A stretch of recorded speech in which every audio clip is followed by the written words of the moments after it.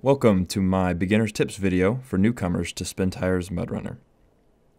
First off, if you're new to MudRunner, you should start with the challenges. These are basically an extended tutorial that teach you the various game mechanics like attaching trailers, repairing and refueling, navigation, and crane operation. The objective of the single player campaign is to explore various maps in which your goal is to fill the orders of one or more lumber yards. The orders, as well as the loads you carry, are represented by lumber points. The larger the haul you carry with you, the more points you can deliver in a single trip. Before you even get moving, we need to understand the gearbox. Here we see the gearbox with first, first plus, reverse, and automatic. Notice the little white line next to first gear.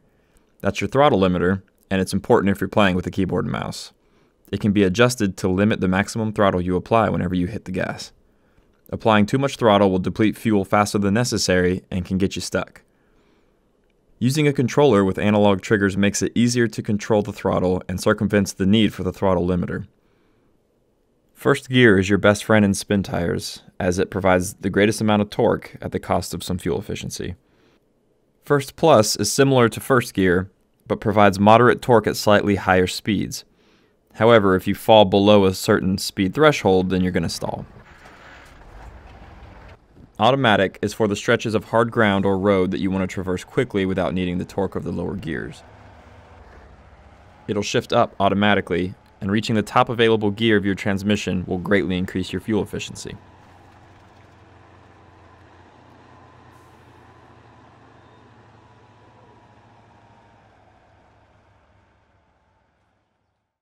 Don't get stuck.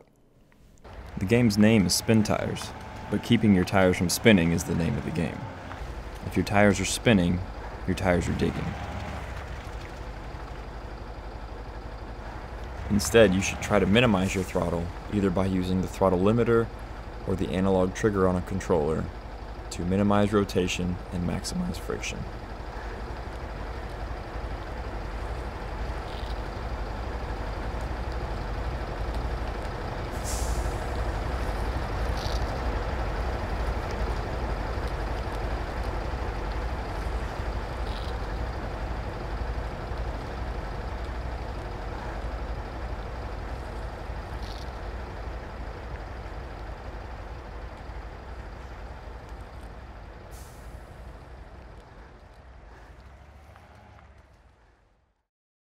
Plot your course.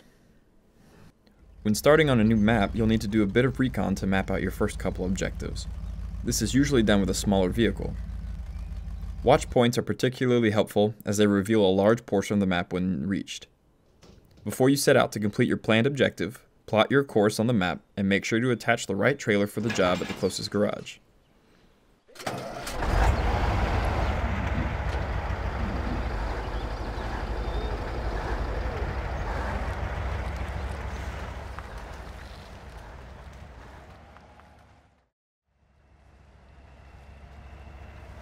That just about does it for this extreme beginner's guide to Spintires MudRunner. Let me know in the comments if you'd like to see more of this type of content. And uh, subscribe to the dump.